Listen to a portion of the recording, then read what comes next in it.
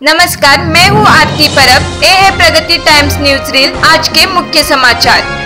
अमरनाथ यात्रा के लिए पाँच हज़ार सात सौ इक्यानवे तीर्थ यात्रियों का एक और जत्था रवाना। मोदी ने कहा कि दूध और मर्सिडीज पर एक समान कर नहीं हो सकता। फीफा विश्व कप में स्पेन को हरा क्वार्टर फाइनल में पहुँचा रूस। अमित शाह ने कहा कि भाजपा 2019 में ओडिशा फतेह करेगी। गृह मंत्री ने राज्यपाल से फ़ोन पर पूछा जम्मू कश्मीर का हाल। फीफा विश्व कप में क्रोएशिया ने क्वार्टर फाइनल में प्रवेश किया। दिल्ली में परिवार के 11 सदस्य मृत मिले, हत्या की आशंका।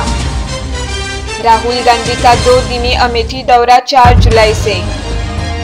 दिल्ली को पूर्ण राज्य के दर्जे के लिए आम आदमी पार्टी का अभियान 3 जुलाई से। अफ़गानिस्तान में विस्फोट 15 लोगों की मौत। चैंपियंस ट्रॉफी में भारत को दूसरी बार फाइनल में हराकर ऑस्ट्रेलिया पंद्रहवीं बार बना चैंपियन शेयर बाज़ार के शुरुआती कारोबार में गिरावट। फीफा विश्व कप में आज ब्राज़ील से लोहा लेने उतरेगी मेक्सिको।